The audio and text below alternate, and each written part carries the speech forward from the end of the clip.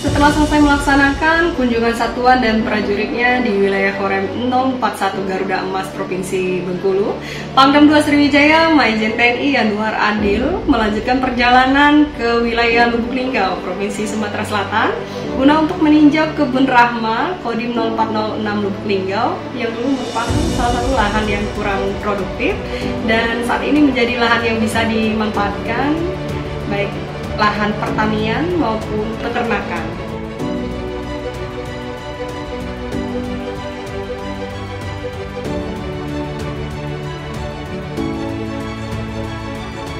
Kunjungi kunjungan kerja ke Kodim uh, Kota Lubuk Linggau. Saya mau lihat apa yang sudah dikerjakan oleh Pak Dandim. Ternyata banyak yang sudah dikerjakan. Salah satunya yaitu pembukaan lahan tidur ini dimanfaatkan untuk tempat lahan edukasi. Terus juga kemarin saya sudah launching dapur masuk sekolah, terus juga informasi dari Pak Wali penurunan stunting di sini cukup gratis, ya kan?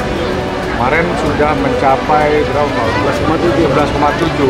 Nah, nasional itu mentargetkan 2024 itu kan 14. Nah, saya challenge Pak Wali sama unsur Forkopinda, bisa nggak 7? Nah, kalau 7 itu baru top. Nah, terus juga tadi sudah kita berikan bantuan kepada masyarakat yang penderita stunting kita berikan susu.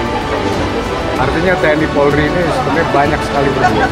Nah inilah tolong diviralkan perbuatan-perbuatan mereka ini. Ya, Kalaupun ada pelanggaran itu hanya oknum. Ya. Ya, dan saya juga tekankan tadi bahwa TNI Polri harus netral dalam melaksanakan pe